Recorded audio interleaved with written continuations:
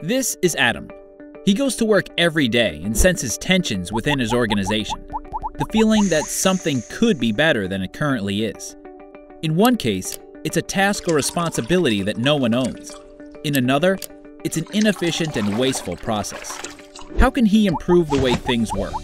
First, he turns to his manager, Karen, but she's overwhelmed and can't make all the decisions.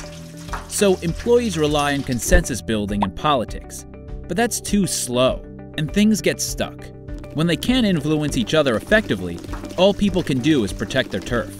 Ultimately, they disengage, and the entire organization suffers. Holacracy is a new way of organizing your company. It's designed to remove obstacles so work can get done faster, with more clarity and more autonomy. With Holacracy in place, instead of trying to convince his boss to act, Adam can propose getting the authority he needs to act on his own. He goes to a special meeting designed to achieve incremental improvements in the way things are organized. It follows a disciplined process that gives everyone a voice, but without the tyranny of consensus. In the meeting, Adam gets more authority to fix issues himself, so he can move forward without requiring his manager's help.